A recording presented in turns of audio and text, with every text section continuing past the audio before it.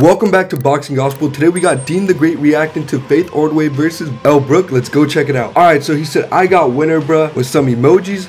I'm not sure what he means about that, if he means in the boxing ring or... Yo, Deen, this is a family channel. Chill out. Anyways, we don't get much from this, but let me know what you guys think about this in the comments down below. If you guys did enjoy the video, please like and subscribe. Thank you so much. Enjoy the rest of your day. Peace out.